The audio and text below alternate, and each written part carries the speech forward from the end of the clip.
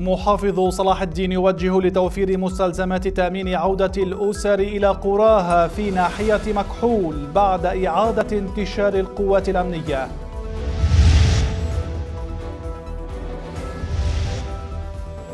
دائرة الرقابة التجارية في صلاح الدين تقول لدينا لجان مختصة بمراقبة أسعار المواد الغذائية ومحاسبة من يتلاعب بقوت المواطنين.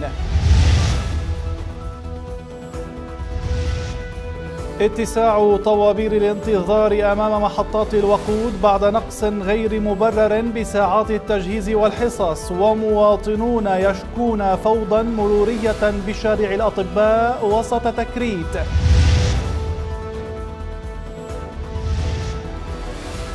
مجلس النواب العراقي يعتزم إصدار مذكرة منع سفر بحق وزير المالية وعقد جلسة طارئة الأسبوع الحالي لمناقشة سعر صرف الدولار.